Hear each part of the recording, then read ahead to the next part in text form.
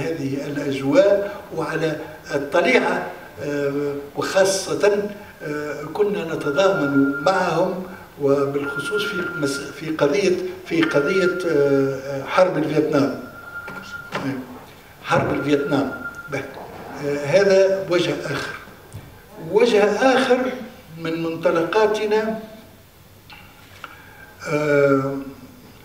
أن الجيل الأول بعد الاستقلال يعني 56 الجيل الأول الذي تخرج كان بعض منهم الذي تخرج من مدرسة آه، الاستقلال المدرسة الجديدة بعد الاستقلال. آه، ثم آه، فأنا شخصيا شاركت ومثل ما شارك العديد كل تقريبا ما دون أن نسمي كل الأسماء فهمت فهمت معظمهم. باستثناء توفيق ربما توفيق كان في كان في فرقة الإذاعة في ذلك الوقت. أما البقية بمعظمهم حتى توفيق كانت له توفيق جبال. كانت له علاقة وسيلة متينة بالمسرح المدرسي. فأنا شخصيا سنة 66 بالضبط في تلك السنة قدمت خرجت وعربت مسرحية براشت آه، بنات الأم كرر بندقيات أو بنات كرر آه، وأحرزنا الجائزة الأولى بعنوان مدرسة ترشيح الأساتذة المساعدين. آه، أحرزنا الجائزة الأولى. وكانت هذه الجائزة مثل ما كانت بالنسبة لمدارس أخرى. هي السفر إلى مهرجان أفينيون أكبر مهرجان في العالم آه، تعودنا على قول هذا الكلام.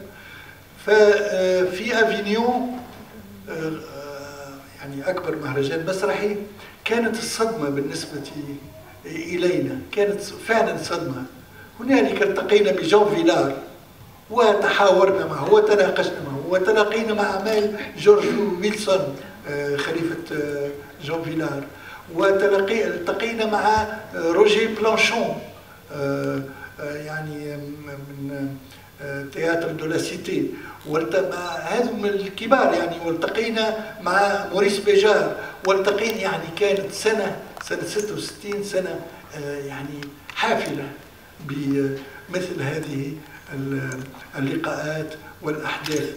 فكانت إحنا في الحقيقة رجعنا إلى تونس وكما سلفنا على طريق على ظهر على ظهر الباخرة Ville de Kairouan أو Ville d'Alger لا, لا, لا, لا أذكر أيهما كانت في في الذهاب وأيهما كانت في الاياب وكنا نلتقي وننظر إلى أنفسنا ونتساءل هذا يعني إثر هذه الصدمة عن أوضاع المسرح في في تونس. عن أوضاع المسرح وعن كيفية آه، إصلاح هذه الأوضاع نقول إصلاح عن كيفية الفعل الفعل الجديد للتغيير. ف آه، كنا هكذا ووصلنا ذلك في ال في ال في المقهى. مقهى قلت لي بالاس روسي. آه، هو بجنب افريقيا بالضبط ف آه، تناقشنا طويلا. شفنا الأوضاع عملنا تقييمات ووصف تقييم وصفي لما هو موجود. وما هو موجود؟ ما أسميناه بتياتر زولوجيك. كان المسرح الشعبي هو التاكل في ذلك الوقت وكان يتناول آه آه جمال حيك الضحكة وأنواع من هالقبيل هذا فكان موجود في البيان موجود هالأسماء هذه العناوين أو أمامنا أمامنا شيء آخر. آه، أمامنا حتى المسرح الفرنسي اللي كان عروض كانت قالا كرسنتي واربان هو مسرح البولفار. وماذا آه، أمامنا أيضا؟ أمامنا مسرح آه، إنسان أحبه جيدا ويدعو إلى مسرح النسيان théâtre de l'oubli قام مثل حسن الزمري لكن هذا هو الواقع. كان يدعو كنا نختلف معه في هذا. ثم كان هنالك أيضا مسرح ممكن أن نعتبره و ويستحق أن نعتبره مسرح مسرح حديث معاصر. هو مسرح علي بن عياد لكن يعني خطوة كبيرة نحو مسرح جديد في تونس لكن لكن كنا ننتقد ونختلف معه في أن هذا المسرح فيه نجومية أكثر من اللازم أكثر من اللازم. و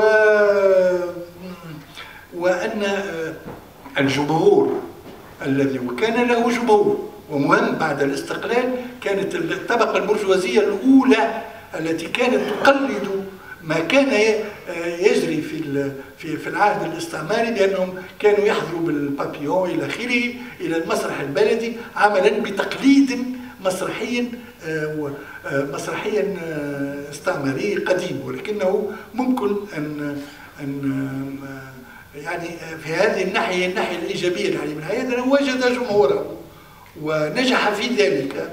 ولكن نحن نختلف.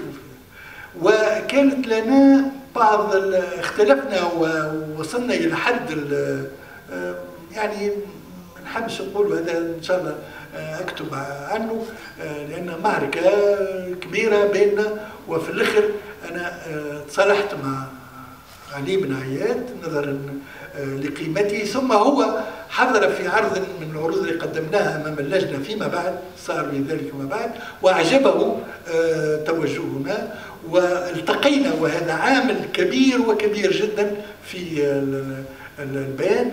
التقينا التقيت به أول مرة بصفة مطولة في مهرجان مسرح المغرب العربي. هذا المهرجان لعب دورا كبيرا مهرجان مسرح المغرب العربي.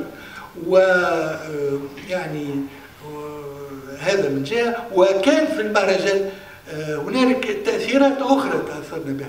كان مصطفى مصطفى كاتب في المسرح الجزائري مدير المسرح الوطني الجزائري وكان يقدم براشت وكان يقدم وكان يقول نحن نقد مسرحنا من جماليات عفوا نحن نقد جماليات جمالياتنا من ضروريات المرحلة. مهم جدا. ثم أيضا كنا كان الطيب الصديقي كان كان معناها عضوا بارزا في هذا الكل. أضف إلى ذلك كان جاماري سيرو في مرحلة لاحقة إلى آخره موجود في تونس واستفدنا الكثير منه. كما كان لابد أن أذكره لأن أو هو أول من قدم براشد في تونس هو عبد عبد المطلب الزعزع. آه هذه معناها بعض الأجواء. و لا لا لا عبد المطلب. لا لا عبد الرزاق في فرقه مدينة تونس. عبد المطلب كان كافالي سول كان فهمت عن طلب الشتات فهذه يعني بعض الأجواء حتى. ثم آه على كل أهم عنصر في كل هذا هي صدمة افينيون ثم المسرح المدرسي ثم تلاقحنا مع ما يجري في العالم. وعندي كتابة فيها أن أيام ماي ماي حتى قبل. بدأت من الستينات أي بدأت من لا لا خلينا لكن بعد تطور الأفكار الجديدة في العالم. بدأت بس بداية الستينات. بداية الستينات. ويعني لم نكن متأثرين فيها كما كانوا يقولون لنا هذا شيء مستورد. أن يضع الإنسان أمام مشاكله في مجتمعه. فهذا هذه أهم فكرة أتت في في البيان. ثم أن طبعا حوالي هذه الفكرة نقد لما سبق. للمسرح النص الكوني. ما كان ولو أن لم يكن هناك إشارة مباشرة مباشرة ومنتقدة لعلي بن عياد والمسرح البلدي إلى غير ذلك. ولكن نفهم من السياق أن كفى كفى شكسبير كفى روبير ميرل كفى كذا ولن لنركز على على واقعنا وواقعنا خاصة الاجتماعي. طبعا كان كان الموقعون ذوي أو المشارب مختلفة. كان من من له قرب يعني إيديولوجي حتى سياسي واضح. وهناك من كان يبحث عن حقيقته وحقيقة ما يحوم حوله. وفينا الذي كانت له هموم شعرية وفنية إلى غير ذلك. ولكن المهم اجتمعنا على شيء هو أن المسرح لابد أن يعود أو أو أو ان أن نشحن المسرح بأفكار جديدة وأن نشحنه خاصة بأهداف جديدة حتى يمكن الوصول إلى أكثر عدد ممكن من المنتفعين به. وهذه فكرة كذلك قوية من الأفكار التي أتت في البيان.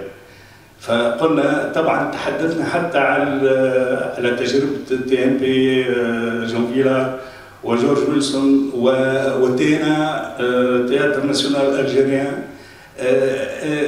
وحيث كانت البحوث في ذلك الوقت تتجه نحو أن يخرج المسرح من القاعات وأن يذهب به وأن يحمل إلى المنتفعين به في أي حيز في أي مكان سواء كان ذلك في سجن أو كان في مدرسة أو كان في معمل غير ذلك. هذه الأفكار الجميلة هذه كلها كانت موجودة وما يدفعني إلى أن أقول أو أن أعتقد أن البيان أتى أكلة ولست ولا يخمرني أي يأس في ذلك. هو أنه كان ظاهرة صحية وانها أتت في موعدها لتتغير الأمور وقد نشأ عنها في رأيي. كل ما اعتمل داخل هذه الساحة المسرحية من أفكار جديدة وتوجهات سواء كانت مصطبغه بهم سياسي أو بغيره فقد نشأ عنها زخم وثراء كبير. منها مثلا المسرح لم نتحدث كثيرا عن النصف السويسي الله يرحمه النصف السويسي كان من ضمن الموقعين وقد وقد كان له فيما بعد اثر كبير في المسرح الجهوي كما هو معلوم. وكذلك من بعده أو أو في إثره يعني فضل الجعايبي وتوفيق جبالي في تجربة قفصة إلى غير ذلك. فكانت هي حلقات مترابطة ولم يكن هناك قطع في أي وقت ما في هذه الحلقات وفي تسلسل الأحداث. فاذا هذه أشياء كذلك إيجابية جدا في في هذا الموضوع.